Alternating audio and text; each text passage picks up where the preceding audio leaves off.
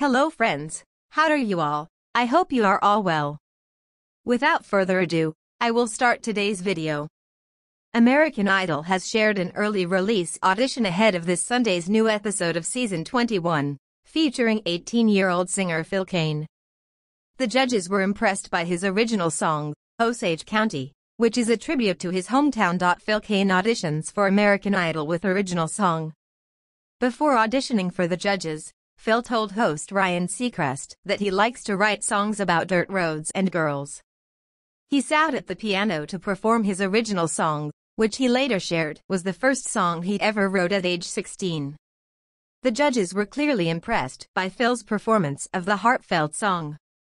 When he was finished singing, all three of them gave him a standing ovation. Katy Perry told him that even his choices on the piano gave me chills. She went on to praise his storytelling ability, saying she believed every word and really related to it. Perry added that now she wants to visit Phil's hometown. As she said, it's not about notes. It's about telling a story.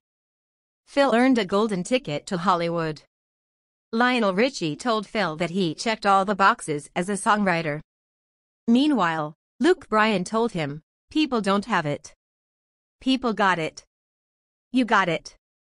Going forward, Perry encouraged him not to compete with others but instead to stay true to who he is. Bryan also pointed out that last year's Idol Season 20 winner, Noah Thompson, was the simplest, most understated person in the competition, cause people believed. All three judges voted yes to giving Phil a golden ticket to Hollywood. You can watch Phil's audition during the new episode of American Idol Season 21, airing this Sunday at 8-7C on ABC. This will mark the final round of auditions before the infamous Hollywood Week begins.